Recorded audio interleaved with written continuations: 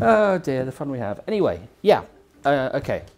Uh, my name is Matt D'Ancona. I am an editor and partner at Tortoise, which is a slow media platform. Futures by Tortoise is a reboot of a 1920s and early 30s series called Today and Tomorrow, in which a massive collection of writers, artists, scientists, and other subject experts talked about a particular topic, the state of it at that particular time, and then went on to predict what would happen in that area into the future. Well, Futures um, came to us as an idea from Max Saunders, who's an uh, English professor. Who spent about 10 years working on the original series and thought it would be an amazing idea to update it for the 21st century. So that was an exciting editorial challenge, was to seek out the best and the brightest uh, writers, uh, and not just the most established. We also want to uh, showcase new talent and to start off with uh, five launching uh, in the middle of next year, 2020, and keep going.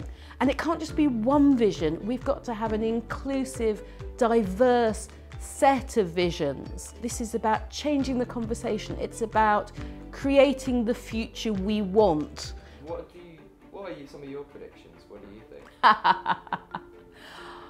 I don't do predictions. Help us bring futures to life. Pledge to fund the first five essays by five brilliant authors. Head to unbound.com slash books slash futures.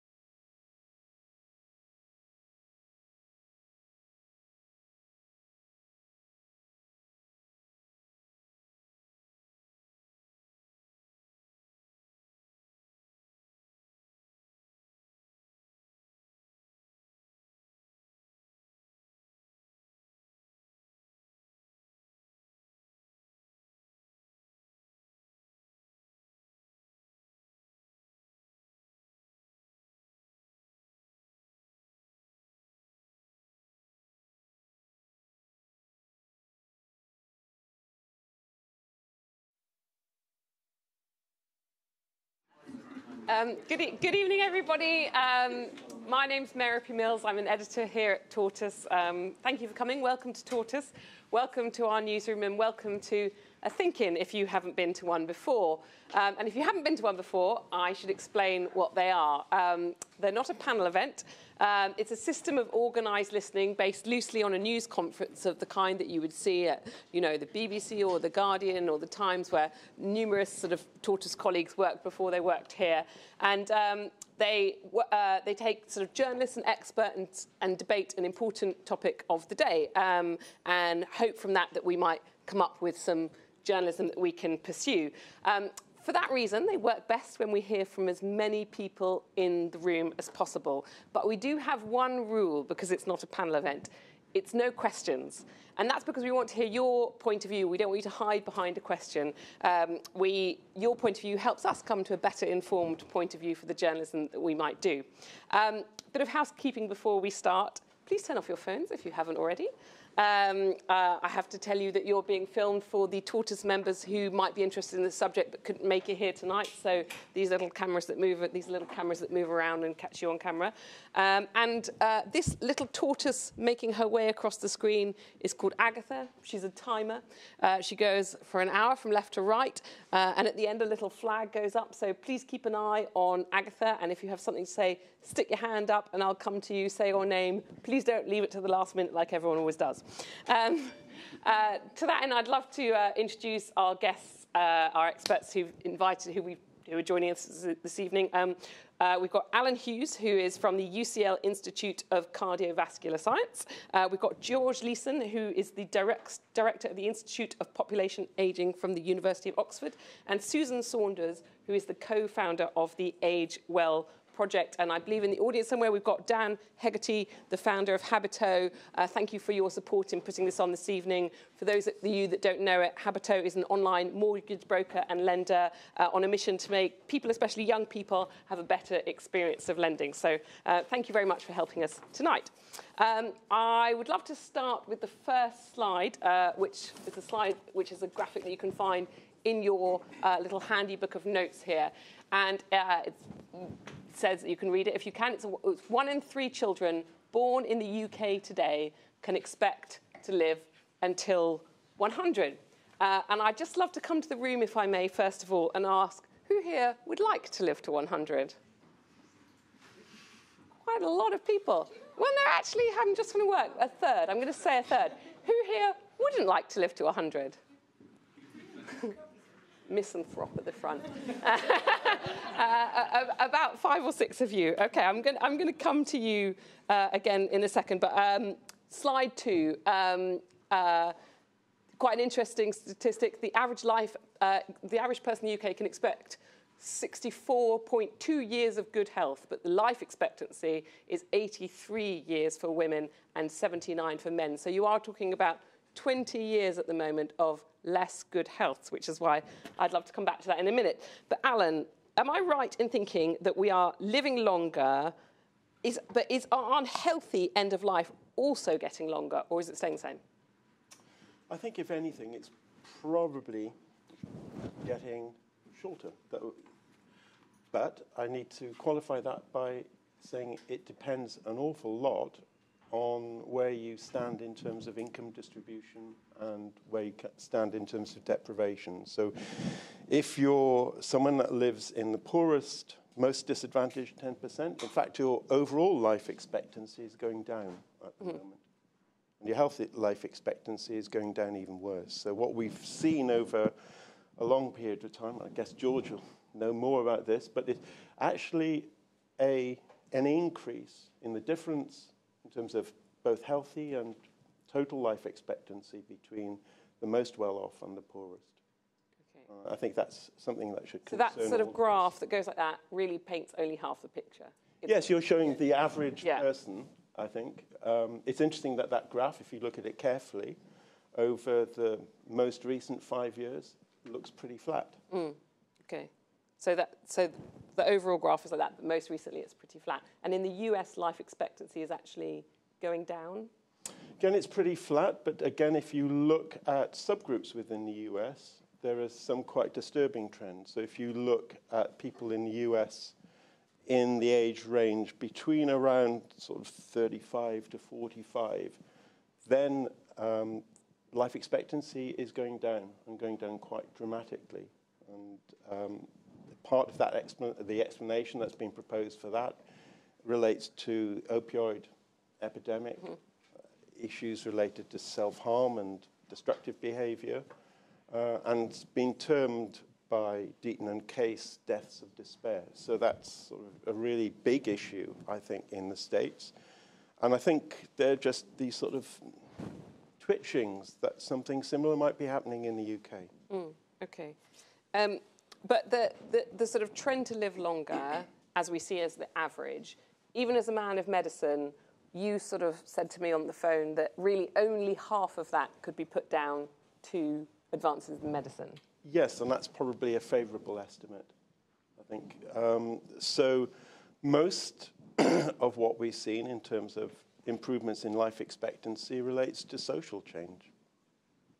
And which, by which you mean? So if we go back to the 19th century, we're talking about hygiene and sanitation. Um, that carries through the 20th century. Improvements in housing, improvement in personal wealth, but also issues related to smoking. I mean, you know, the big driver of death particularly in my area of expertise, cardiovascular disease, has been smoking. Smoking was an epidemic in the 20th century. It's also, I think, an under-acknowledged public health success because smoking has gone down from rates in the 1960s where 70, 80% of men were smoking. Now, most recent data suggests that around 17% of men smoke. That's a huge social change. And it's come about, in my view, as a result of policy. It's not a result of nudges, it's about banning advertising, imposing taxes, and more latterly, placing restrictions on where you can smoke. Oh, I guess journalists know that quite well. Um, uh, George, I'd love to come to you next. Um, uh, you sort of intimated to me that you think half the problem is that we have a very 19th century understanding of what old age is these days. Very, we're very out of date in our understanding of old age. Yeah, I, I, I think so. I mean, I, I think we, we're, we've already in the first, whatever it is, I don't know how far the little tortoise has moved, five minutes or so, we've already touched them on so many exciting things, which I think uh, we can hopefully discuss in, in more detail over the evening. Um, but yeah, and I, if, if, if I could first of all pick up on one or two things that were mentioned by Alun, and you know, I think what we do really have to remember is that uh, it, it, it's very, in a way, very misleading to look at population level data, because if we look at population level data, despite some recent little hiccups, which you know time will tell, as they say, whether or not that is a long-term trend, but despite those, as a population, look at those figures, we're actually aging quite well and living mm. quite well. But there are, as Alun intimated, huge inequalities. You know, just moving across London, let alone moving from London up to Glasgow, the, the, the, the changes in life expectancy according to the, the, the, lottery of where you were born and where you live and into what circumstances you were born and you would live. It, it, it, it, it's amazing how that does impact on, on, on, on, on life expectancy and healthy life expectancy. I should also say, um, I, I was at a seminar just recently in Oxford and, and, and, and I was really pleased to hear that there's good news for men as we move forward. Um, I, was, I was less happy to hear that it's more bad news for women in terms of healthy life expectancy. So that it, the gains in life expectancy for men will be mainly healthy life years. That's, that's less true for women. That's something maybe we also, um, and, and Alun, I'm sure, has a lot to say about that. But yeah, I, the, the point that I made about, in a, in a sense, we, we, we're still living in the 19th century in terms of how we look at old age is, is, is based on the fact that, you know, we have some social constructions around old age, and they are extremely difficult to break down. And one of those social constructions that's been around for over 100 years now is social pension and, and, and, and then retirement that came in. And they became synonymous with that was it, end of story, leave the stage. and leave it to everybody else. Now, uh, if you think about when pension systems were introduced and retirement systems were introduced, it was actually a really good proper propaganda exercise because, so maybe, maybe everyone in this room knows, but when the first social pension was introduced in the UK, it was available to some people, not everybody, uh, at age 70. This was at the beginning of the 20th century. Okay? Not many people reached the age of 70. this was not going to bankrupt the country. and the ones who did had a very short life expectancy ahead of them. Hmm. Now, what has happened since then? Our pension age has gone down. That was at a time when life expectancy was at about 50 population level life expectancy. And now our life expectancies, as we see, are around 80. And yet the pension age has gone down. And it, it, it, we, we seem to be locked into that perception that that means you're old. And I'm sure the vast majority, if not all, people that you talk to are, who are approaching or have just gone into retirement, they don't think of themselves as old at all. On, on all, now, uh, we've got a medic in the room, so I'm going to be a little careful, but I, th I think on, on almost all measures, you know, we are much younger for longer. And that the, those diseases of old age, the frailties that hit us, they hit us much later. That means that as individuals, we'd actually like to contribute contributing. They, not necessarily in the workplace, but in our families. You know, family care. Family carers are worth billions of pounds in this country. Billions, tens of billions of pounds in this country. Unrecognised, unacknowledged, disrespected. It's, it's unbelievable. But that is a way to contribute. Also, voluntary work, the same sort of picture. And many do want to carry on working. Um, and in a way, what we've been looking at at the Institute and, and, and, and, and, and trying to uh, put on the table in a way is that really we should begin to think about, just as it was 150 years ago, really, when pensions began to define old age, we should think about old age as that very short period of time before we die when, we're, when we are frail, when we are dependent, and when we do need help. Up until that point, most of us are actually going to be okay and relatively healthy and active.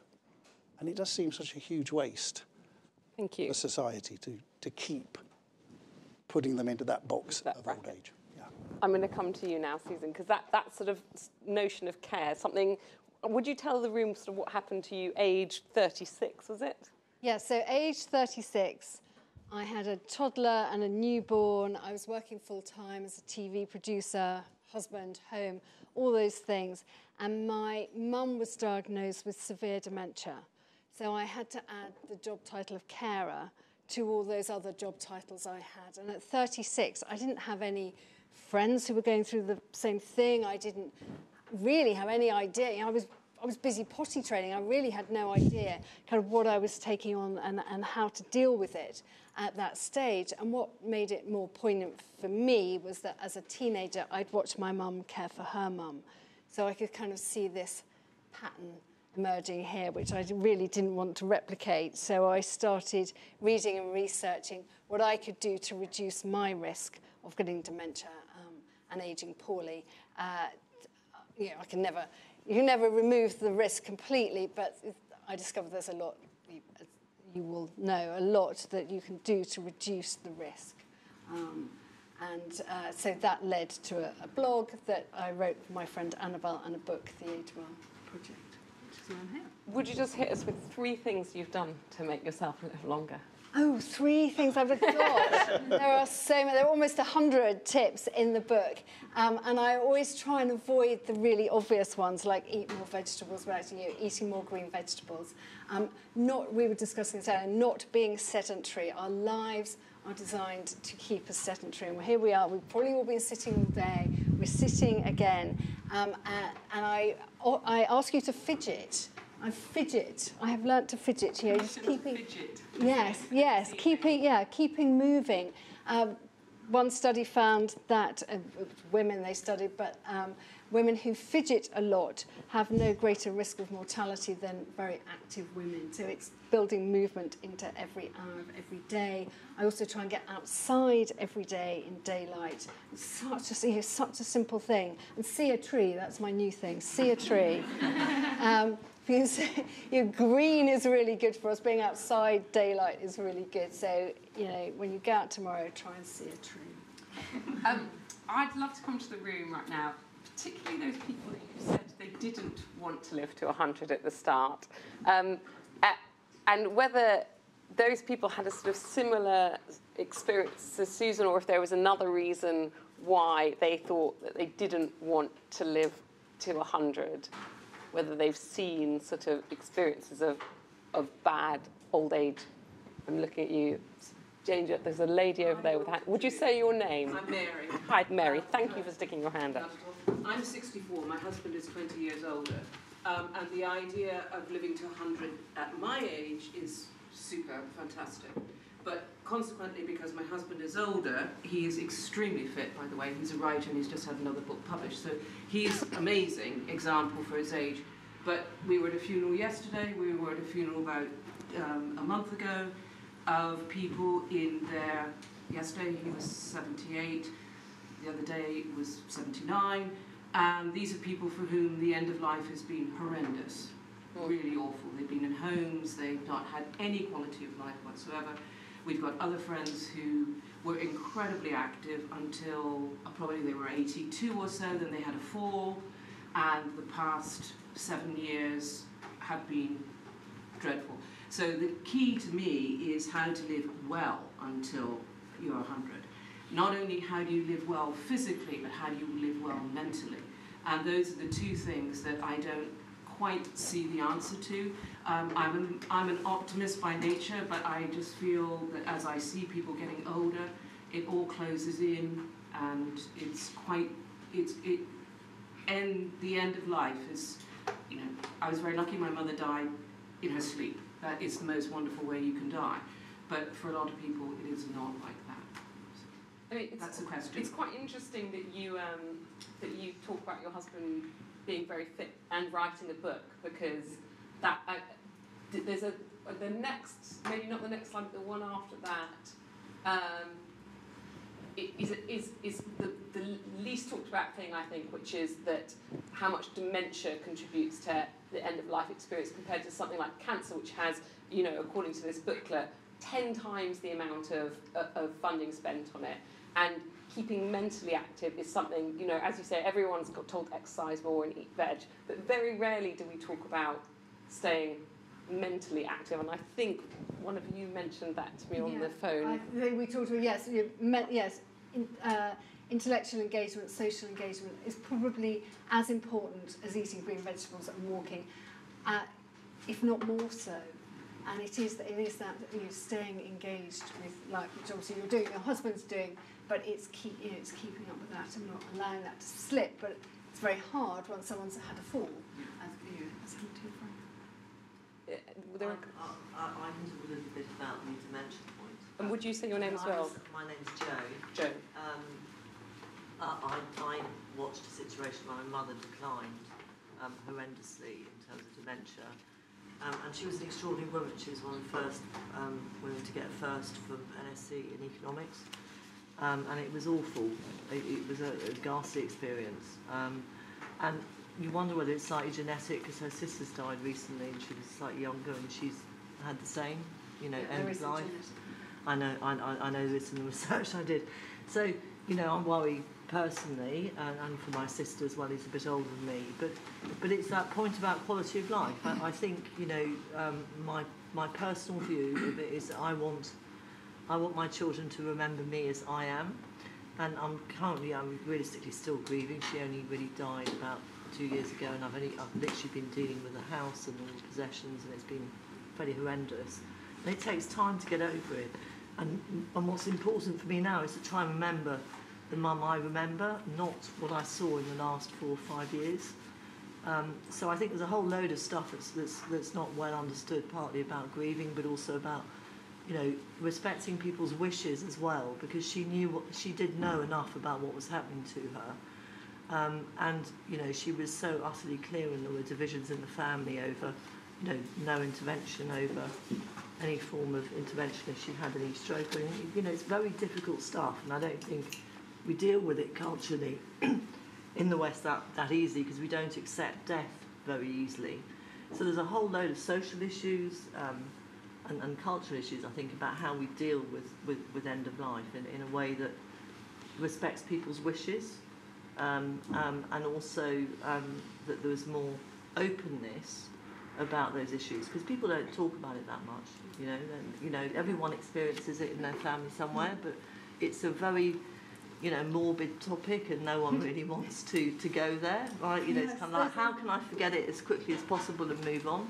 Yeah. Yeah, there's really no conversation about the impact on the rest of society of you know, that one, you know, that one person who has dementia. You know, they're the, you know, the stone in the pond, but the ripples spread a really long way, and that's not ever really discussed or quantified.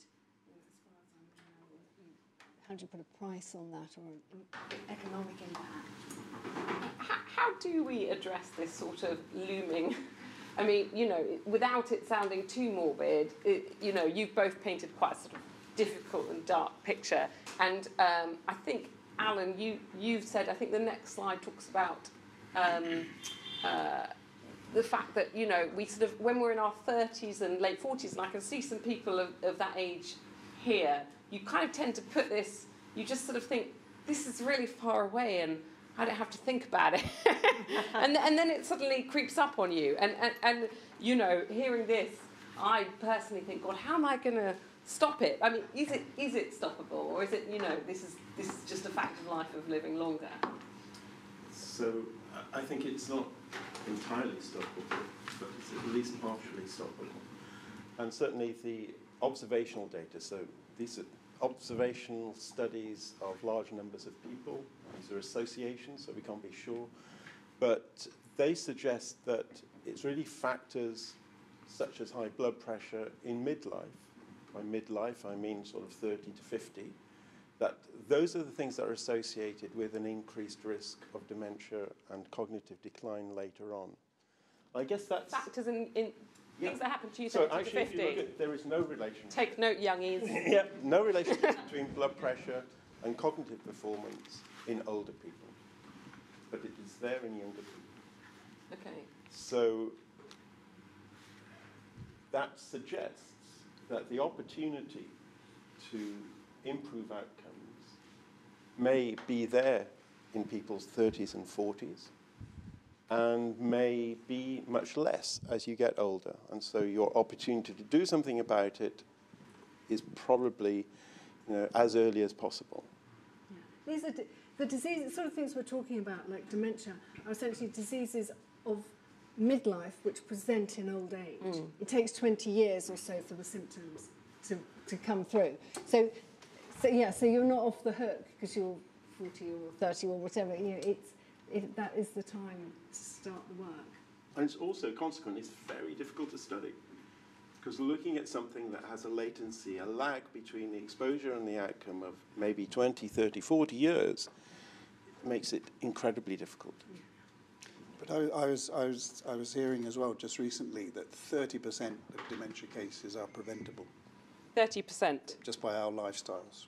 Now, it's not my data, but uh, this, is, this is what I heard. So I, you know, I think it's like many other things that we personally can do a lot of things to prevent prevent uh, diseases like dementia hitting us.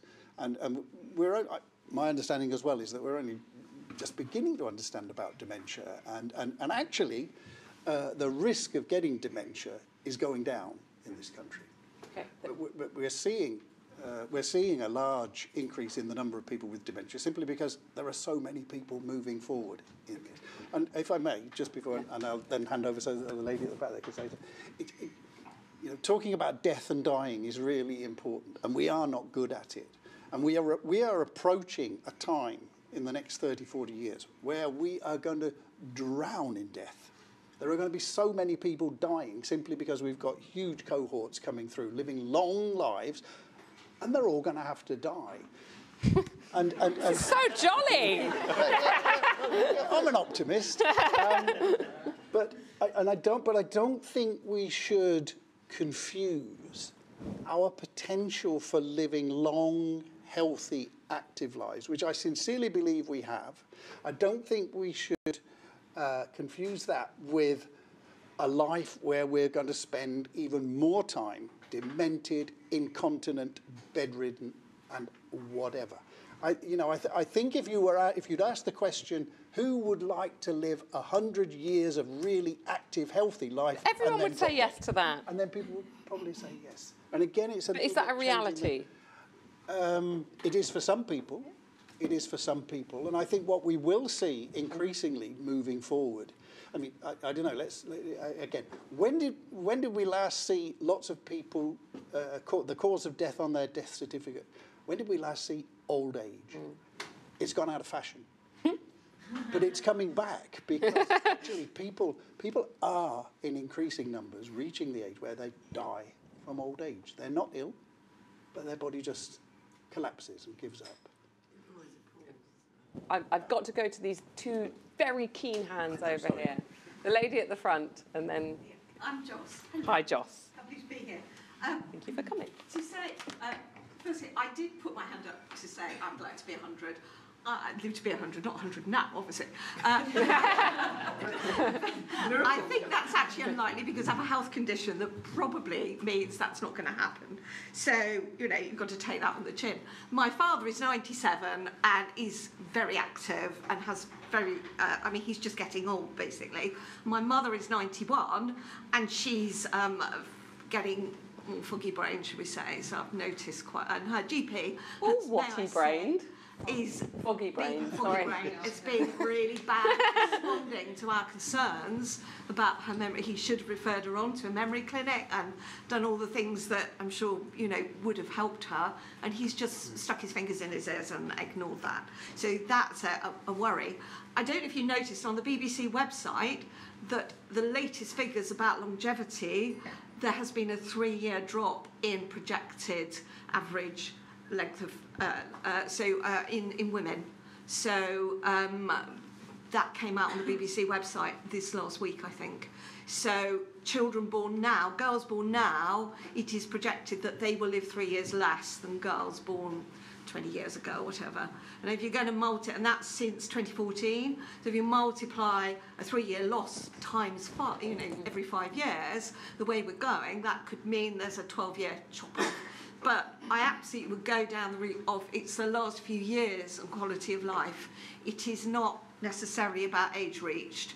And there is a 20 year, no, there's a 40 year differential in Kensington, the richest borough, uh, which also has the the, some of the poorest people in there. So a homeless person in Kensington, of which there are unfortunately an increasing number, their life expectancy is something like 44, whereas a man in Kensington living in an affluent situation could expect to live to be 89.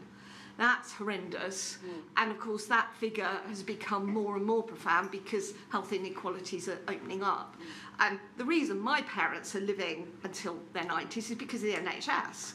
Because my mum, in particular, has had interventions, and my stepfather's still with us, and he's 91. So three of my four parents are still with us, age 91, and that is largely because of the NHS. You know, and social care is in a pickle at the minute, and we need to rescue those services. If we want a quality of life, and it isn't just about medical intervention, I absolutely get that. You've got the preventative side as well, which we need additional investments in social determinants of care need to be broadened out and invested in.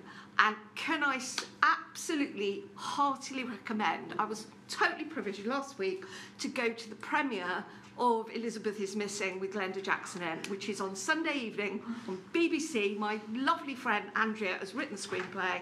It's directed by Aisling Walsh. Plug, plug, plug.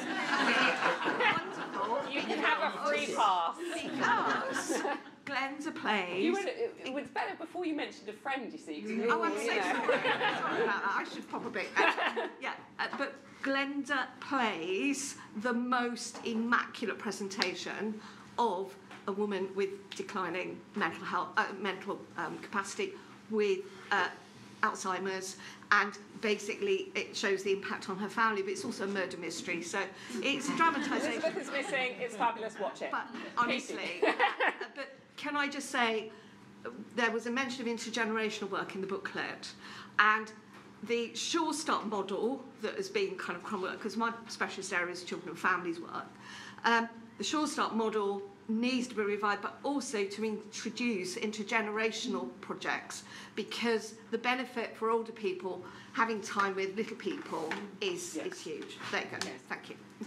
Uh, thank you, Justin. Uh, Katie. Um, I'm Katie, I'm one of the co-founders here at Tortoise. Um, I have two sides to the sort of family story of uh, people that die young, dad, terrible side of the family.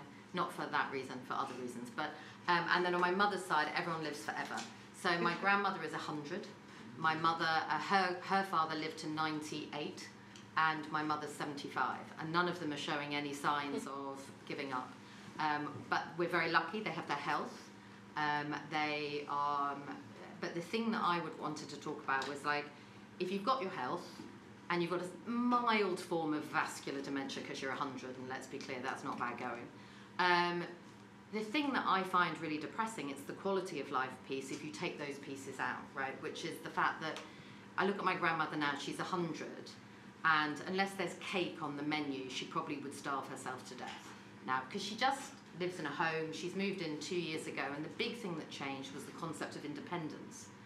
And actually, for me, this sort of concept of assisted living that we sort of live with as a, as a construct that sort of is like you go into these places, it's assisted living. It sort of starts to talk about that decline in it, beyond health and mental um, capacity into a sort of place where you're left with fewer friends, you're sort of cut off, your quality of life. But the independence bit, the bit, the moment they took away her car and she couldn't get to go down the road, the moment they took away all of those things that gave her independence, um, you know, the fact that she'd been Adult Learner of the Year at 92 uh, for Smethwick uh, in the Midlands, that's the thing that changed for her. And the thing I hope is that the concept of assisted living changes and that actually things like I never learnt to drive so that I'll never miss driving, but maybe by that time, or I have a chauffeur, I can't afford one, but maybe. but you know, the autonomous car, the, the intervention of technology, not just from a medical point of view, and some of the things that we've talked about in the health of people, but just that intervention in life where actually for my grandmother, if she had actually had access to a car for longer, if she had had access to all of those things that gave her her independence, I think she would have had a happier last two, three years that she's in at the moment. She'll die in her sleep, but she'll die because she stops eating, basically. Okay, I'll go to this lady here. What's your name? Sonara. Sonara. Hi, Sonara. Yeah, I, I have very similar thoughts about my grandmother, who's maybe 91, 92. Um, and she lived alone for a long time after her husband had died. And she's been quite strong physically, but she is getting memory loss and stuff, and now she's in a home. And I really did think, I hope you die before we have to do that, because you've been independent for so long, you're so proud, she's not very sociable, she's not going to find it fun hanging out with a bunch of people she doesn't know in a home. It's just she's not interested in that. She wants to be with her family. Um, yeah, and I, I don't think she does have a great family uh, quality of life, and she is pretty healthy. You know, if the doctors check her out, they say she's doing well. Um, so yeah, and she and she has this phrase which she said for years, maybe a decade, like you know, I wish they'd just pull the plug. Like she really and she really means that in a, in a long way. And she saw her husband have a lot of strokes, and he was a very proud man and had more and more reduced independence. Um, so yeah, I think there's something about maybe being allowed to choose to, to not linger on, and then something about how, um, yeah, what do you what do you is is there something a bit better than just being institutionalized? It seems like such a big gap between being totally de- uh, dependent and then totally totally independent and then totally dependent. Thank you, Sonara. And, and the lady here? I'm Judith. So I- I'll- I'd like to go to a slightly different scenario. So my grandparents died in their 90s. They lived at home. They were fit, healthy, um, well educated, um, relatively affluent, and therefore were very likely to succeed in, in, in a long and for them, luckily, a healthy life. So they were independent right till the end, but all their friends were dead, all of them, and they were very lonely. Um, they were they had an incredibly strong social life before that, and they had no one left. One by one, they went to funeral after funeral. So the answer then would appear to be we put in systems that make the healthy choices the easy choices, and you look at all the wider social determinants of health, and everyone reaches, you know, increases their, and, and particularly working on reduction of wealth inequality across the population, and everyone is more likely to reach that age of 100 and compression of morbidity and all of that. But then I do think we have to think about the inequality of resource consumption across generations and um, what that means for uh, population um, in within the UK, but also global population. And is that something we should be doing? What do you mean by that? Would you just So if you look at uh, so you look at the um, inequality of wealth distribution across generations now, I think one of your slides was about the average increase in uh, age of first-time uh, home buyers. If you look at um, uh, who can who can afford to who can afford to buy a home, who can afford to live in London, who can afford to actually retire. Um, I think if you look at the distributions across, well, I know that if you look at the distribution across generations, um, with triple lock benefits and pensions and so on and so forth, we are disadvantaging the, the, the generations that are following us. And if you look at the global uh, uh, population growth and you look at consumption of resources um, across the globe, sure, we, we're talking about climate change, we're talking about plastic, but actually, should we, we, we I think we should be thinking about uh, what what population size the globe can take, and therefore, do we want to? And we also know that as populations get more affluent, so uh, child uh, family sizes decrease, um, as infant mortality decreases, families have smaller numbers of children. But I, I do think that we just need to be aware of growing inequalities amongst our, our generations, as well as um, working to uh, improve the, the life chances of a healthy and a healthy long life for populations that already exist.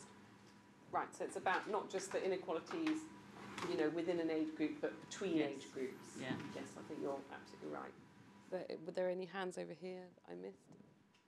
Uh, yeah, Xavier, I work at Tortoise. Um, it's kind of coming to Casey's point and then uh, Judith's and your point over there. Um, I do think the social kind of fabric point's a really important one. I think, um, you know, if if you are just kind of friends with you know people of your age when you get into your 90s, then you know there's an increasing chance that they're not going to be around anymore. And I think, um, I mean, certainly myself living, uh, you know, usually in the countryside. I think in the past 15 years, you've seen kind of, you know, a village which used to have kind of a bus route and used to have, um, you know, a village hall and used to have a pub which was a community space, used of a post office. You've seen these things disappear, and I think it's a really kind of under, um, a kind of underappreciated loss for you know lots of these places which tend to have aging populations. That you know someone who, uh, even if they didn't have family nearby, got a lot of kind of social benefits from their community as they were getting older, are kind of missing out on those benefits. You know, they're in a position where, you know, the bus only runs once a day, so they can't, you know, see their mates, or they can't do this, or they can't do this. So I do think, you know, if we're the family thing is important, but failing that, I think like the community thing, which can really kind of hold people together across generations and keep people kind of happy and interested in life, I think is really important as well. Yeah, and that has a really clear impact on health. People who live in areas with low social cohesion have shorter telomeres, you know, and you know, their, their DNA is, is, is falling apart quicker. So it's not just about sort of having a, a good time, it, it has a really profound effect on how we age as well. It goes beyond how you feel. Hi. I'm Tina. Hi, Tina. I was thinking about the model of care homes. I think that needs to change as well. I'm a creative, I'm in my 50s. I can imagine later on in life, I'd love to live in a community space where we maybe rent a room or I don't know how, but you know, there's a whole community around me rather than a care home or just families. I think lots of people who are independent and now we see that people don't have the same job anymore all their lives. They do lots of different things, so we think very differently. We think much more laterally.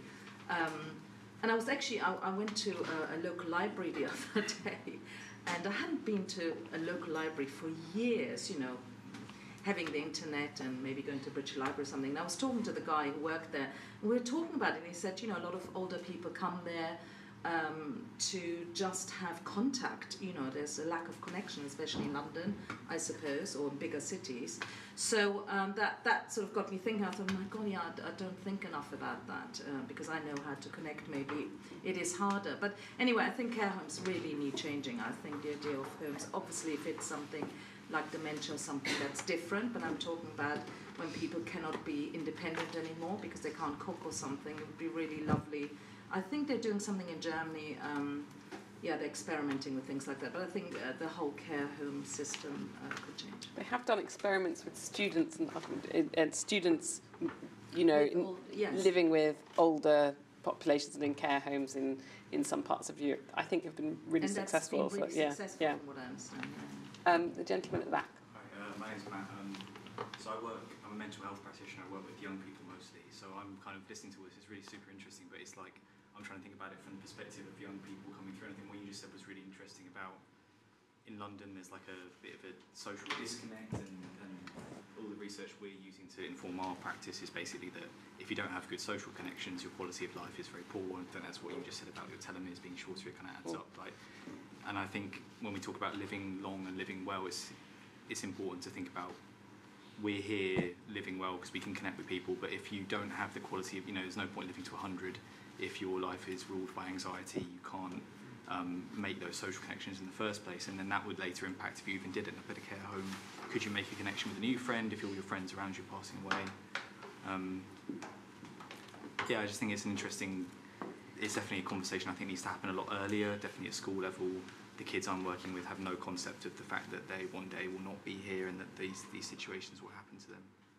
Um, what kind of age are you talking about? so I work with mostly uh, sort of teenagers, basically. Um, but mostly the teenagers I work with, they're they're in sort of serious depression or anxiety because they can't, they don't have the skills to make social connections and all that kind of stuff.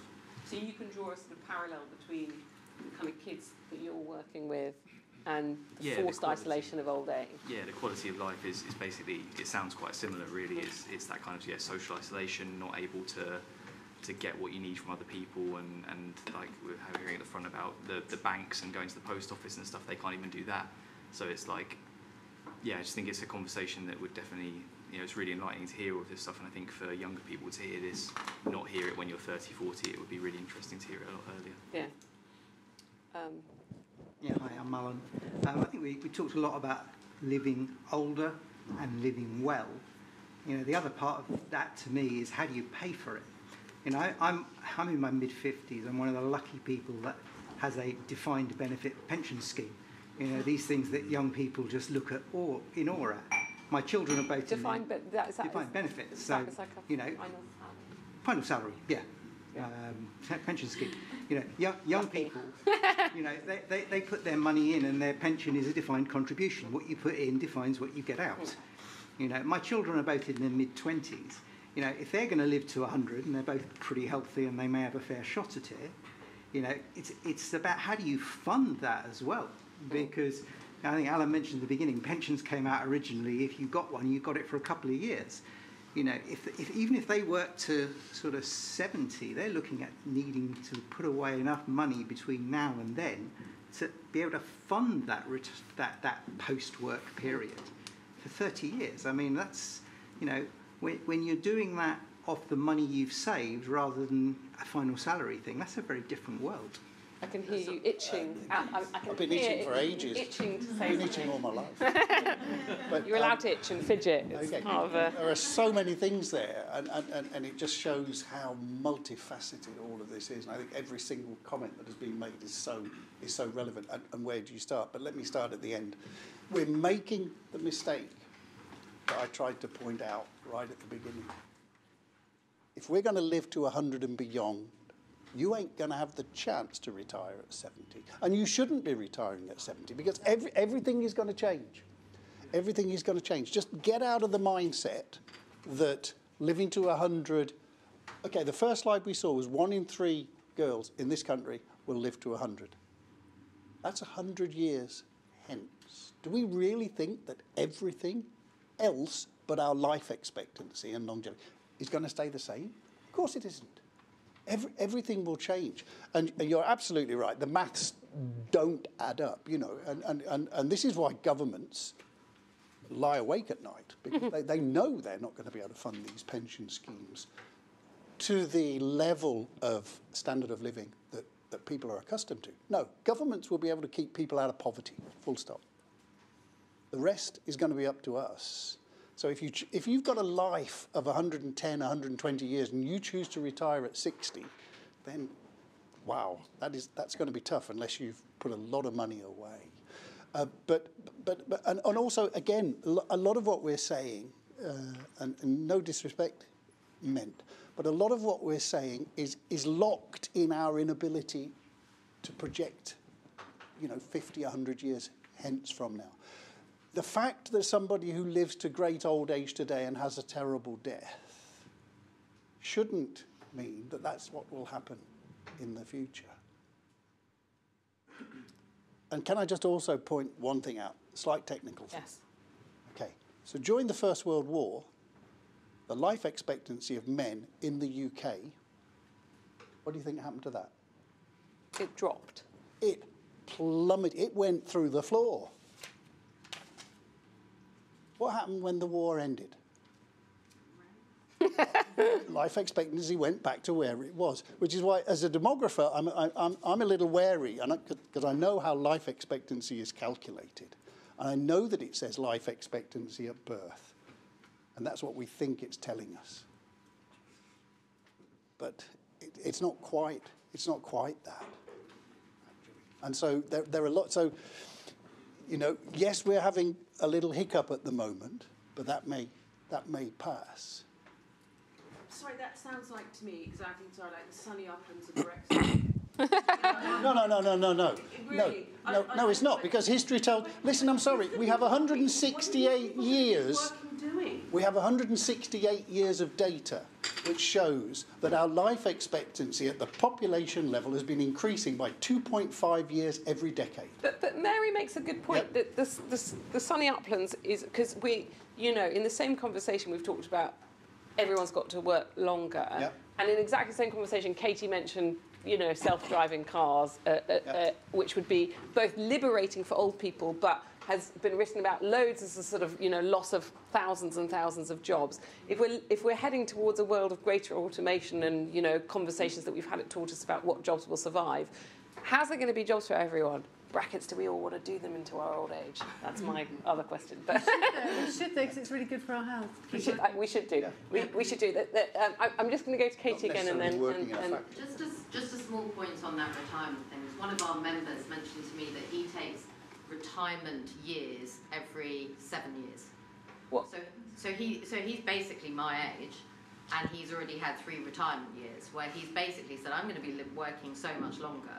I'm just going to take a year out every six to seven years, and I'm going to enjoy doing the things that I that lots of people put off to their retirement." Mm-hmm. because I know I'm probably going to be working into my 70s and 80s. So I think I'm just picking up on your point, which is I don't know what jobs we're all going to be doing in our 70s and 80s. That's not the thing. But just on the retiring idea, it, we, we have this construct in our head that we retire at the end of something, but maybe the concept of just adult years out for, for, part of our sort of living better and enjoying life more and not putting off things until which is a lovely old. idea, but things like mortgages or whatever don't, nec- you know, they don't necessarily He's work made like lots that. of different life choices as a result of that. He's not he's not very wealthy.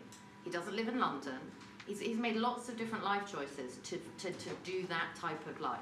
Okay, there were two hands here, two people who hadn't spoken before, just before. There was, there was one hand there and one hand there, and I'll come to you. This gentleman and then that lady. Uh, Michael, um, I think what George has said is, is, is, is absolutely, absolutely, absolutely spot on, is that we need to rethink the, the stru- you know, like the, the, the way that our lives age and the way that we get older is based around, you know, some structures that have been there forever. Um, and, you know, the, the question about what jobs are we going to we be doing when we're 17, 18, it's actually what's the jobs we're going to be doing when we're 18, 20, 25, you know, that's, we can't just deal with the, the question of, of work once we get old yeah. because, you know, we might need to do early reti- you know, retirement, we might only ever work 25 hours a week, you know, but we'll work 25 hours a week for, you know, till we're 90. You know, so I think it's a, it's, it's the impact we're looking at as the old, is as you know, an old Asian population, but actually we've got to think about you know, work as a, in, in a new way. Okay, thank you. Thanks. And the lady here? My name's Donna, and I just wanted to add on to some of the comments on retirement, and I, again, I think spot on what George and some of the others were saying. But what I really believe is we need a fundamental shift in the culture and beliefs of the people. Because when I talked, I've worked with a lot of, um, I'll call them young people, but they're both professionals, and I used to have a retail business, and I worked with a lot of 18 to 24 year olds. And they believe that they're going to retire at 45 or 50. They don't know how. They don't know the values. They haven't done the numbers. And some of these are very smart. They're, for the most part, they were in uni or they graduated from uni. They don't know how. They haven't done the math. But I think this is now impacting retirement. And I take little dips into Facebook groups of job seekers in their 50s and beyond, and they're very frustrated. Um, they the gatekeepers are in their 30s and 40s, and they're thinking, why should I hire this 55, 60, 65 year old? Um, because they think, well, when I'm that age, I'm going to be living in Tahiti. So what's wrong with this person? And and they're basing their criteria on on sometimes fallacies of what a 55 year old can do or a 65 year old can do. So I think there's some real fundamental changes in the culture that need to take place in people's attitudes towards um, what a, an older person can do. And the lady here, yes. Hi, it's Jo. Um, I just wanted to come back to this point about generational funding because, you know, there is enormous inequality if you look at the ageing population on, on, in terms of burden on the younger population coming through. It's not just that lack of ability to buy a home, but it's also the fact that their national in, in, insurance payments are going to give them absolutely nothing, right? And they're talking to grandma and grandpa who've had everything and you know signed on when they finished at 60 because they had another five years where they could get the, you know, it, it's it's creating a, a social issue of, of generational tension, which is really important to address with much more open dialogue. Because and that, that dialogue isn't open because the politicians are interested in targeting, you know, the majority, right? And a lot of young people don't vote. That I'm thinking about this general election a little bit at the moment as well. But there's a massive issue about understanding about how we educate the younger generation about living well and older and what that means. I do believe, as, as, as you've stated, that there will be massive change. It's not going to stay static. But there's some real flaws in terms of our press coverage, how it's being dealt with, you know, and an inequality that's quite distinct, right? Because, I mean, I'm in a generation in my 50s, I've paid in 30 plus years of national insurance. I can't take anything out until I'm sick, and I'm not expecting that it's going to give me anything much at all. But for the guys coming through, it's more than diddly squat because it's all going to go on paying for the long-term care, the social care promises, and all the rest of it. It's a huge issue it's because not they're the, partly the engine of the economy, right? Not going even forward. going to pay for that, I'm afraid. The national insurance contributions are going to pay for so little. Exactly. The maths does not add up. The gentleman. But no politician will deal with that. You done? um, my name's Henry. I've just got a really small point. I work in construction. There's a big problem with um, aging workforce and skill shortage, or, or like when people retire, their skills kind of die Yeah. die with their retirement. Yeah. It'd be quite nice if, if something got set up where you had kind of guys in their 60s, 70s who are like stonemasons helping young guys through their apprenticeships and things like that. I, I don't really know of anything like that. I haven't seen anything in London.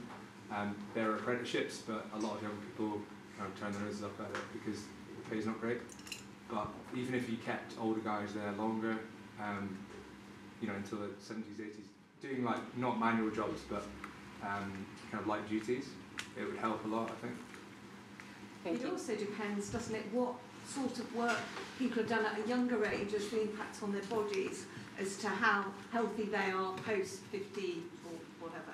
Which you can't suggest that everybody has to keep working till 75 because if they've been in a, a, a area of work that's had a lot of damage on their their you know physical well-being, they're going to find that impossible, and that then dives them into a really impoverished hole. So there's got to be some kind of nuance in it.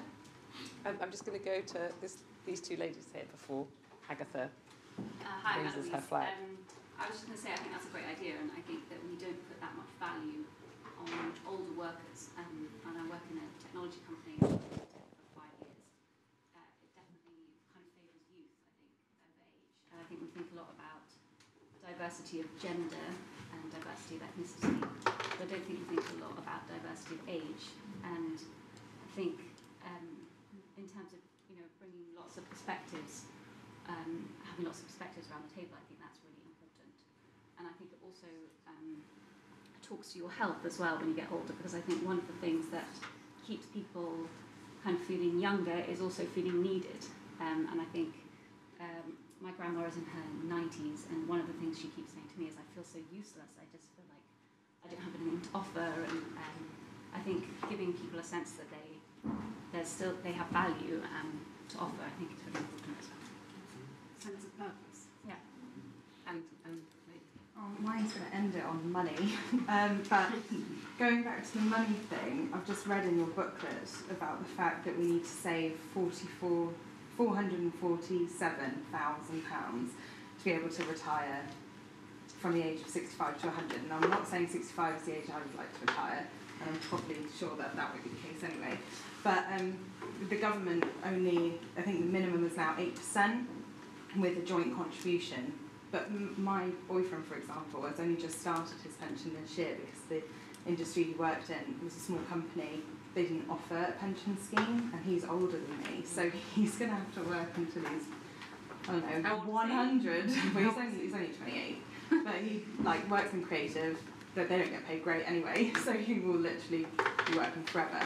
And I just think it's also forcing, or not the right word, but forcing companies to kind of realise that they need to make their staff contribute pensions, whether or not the company contributes themselves, but making that a necessity from day one of jobs so that there isn't this kind of fear of not being able to afford to live once you are unable to work, because that will happen in any industry. Thank you. Um, thank you all so much for your contributions. As you can see, the flag has come up, so it's uh, falls to me to try and sum up some of the most interesting parts of the conversation, which is very hard because it was all fascinating. Um, but uh, I'd just like to thank those who brought those sort of very humbling personal stories to uh, the conversation at the start. Um, Mary, you know, you talked about it's Mary, right? Yes, you talked you talked about your you know husband and uh, you know his friends and the and, and the quality of life that they've had, and and uh, Joe, uh, your mother, and um, and Joss, I think you talked about the loneliness of your parent of your parents around them that they're healthy, but their, their friends have all died, and, and somebody said those words. It all closes in, and you know I found that all sort of very. Um, kind of touching and a little bit frightening, I have to say. Um, uh, but from a personal perspective, um, that we talked about some of the things you can do to make uh, aging easier. Um, uh, as important as eating veg, getting outside, seeing a tree, fidgeting, uh, is the intellectual and uh, social engagement that we obviously all need to keep up in old age. And I was really struck by um, your, your fact that 30% of uh, dementia cases are preventable, which is really interesting given those figures about what a drain uh, dementia is on, uh, on society in old age. Um, in fact, George, you talked about us rethinking our outlook completely to old age, which I think I'm going to try and do um, after this. Um, although I, I think a kind of recurring theme, theme is that inequality is going to be is such an issue in, in, in this conversation, and that we only really sort of touched on that a little bit. Both inequality within sort of old age and also between generations, which I think Judith you you talked to at one point, which I think is is really important. And Matt, you mentioned how you work with a sort of young, younger generation who don't think ahead at all. Um, and uh, into this world. And um, you've talked about how in your 30s and 40s we've got to start thinking about that sort of life plan uh, now, given the changing nature of life expectancy. Um, I, like your sunny up plans of Brexit that we're just living in a hiccup, and, and, this will all iron itself out. Um, uh, and I, I'm not too keen on the Brexit. but but you know your optimistic outlook is a is a is a is a, a lovely way to end uh, and and sort of Katie's uh, friend or no it was a tortoise member wonderful tortoise member who takes a year out every six to seven years and to think about sort of changing the way we live and work now with a view to um, how our old age would be really important and keeping that sense of purpose throughout uh, is key. So thank you all for your contributions especially to our experts but to everyone uh, who came and said something. Thank you so much. It will really help us